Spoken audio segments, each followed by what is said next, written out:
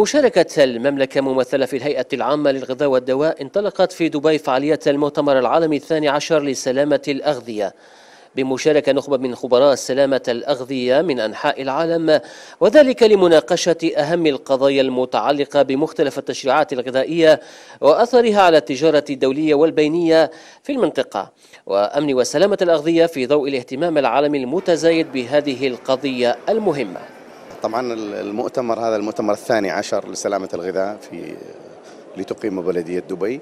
وطبعا في الهيئة العامة والغذاء السعودية نحرص حرصا تاما على التواصل مع الجهات العالمية وأيضا المشاركة في هذه المؤتمرات لإبراز دور الهيئة وما وصلت إليه ولله الحمد. المؤتمر يعتبر من أهم الأحداث الإقليمية والدولية للمهتمين بشأن الأغذية وسلامتها وجودتها أيضا وذلك بسبب النجاحات الكبيرة التي حققها هذا المؤتمر في دوراته السابقة. وذلك للجهود الكبيرة التي يبذلها القائمون عليها في سبيل مجال سلامة الأغذية التي توليها إمارة دبي أهمية قصوى. وذلك لارتباط سلامة الأغذية بخطة دبي الاستراتيجية والرامية لجعل دبي مركزا تجاريا وسياحيا جذابا.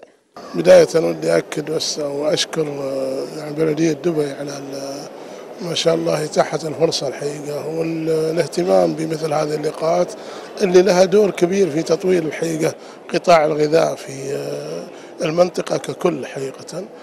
وأما بالنسبة يعني مشاركة المملكة فالحقيقة متمثلة نوعا ما في الهيئة العامة للغذاء والدواء. هذا كما يقف المؤتمر على آخر التشريعات والقوانين المتعلقة بالسلامة الغذائية من خلال ندوات متخصصة تطرح فيها عدة أوراق عمل تهدف إلى تحسين مستويات سلامة الأغذية في منطقة الشرق الأوسط حيث تركز المواضيع التي يتناولها هذا العام حول دور التشريعات الغذائية في سلامة واستدامة الغذاء على مستوى العالم. كما سيتعرض الخبراء والمختصون إلى مختلف التشريعات الغذائية وأثرها على التجارة الدولية والبينية في المنطقة. إضافة إلى تقديم العديد من الدراسات وأوراق العمل التي تتناول بشكل أساسي كيفية موائمة القوانين والإجراءات المتعلقة بالأغذية بالصورة التي تتضمن سلامة الغذاء دون التأثير السلبي على استدامته وانسيابيته بين الدول بسهولة ويسر. لقناة الإخبارية عبد اللطيف بخوش دبي.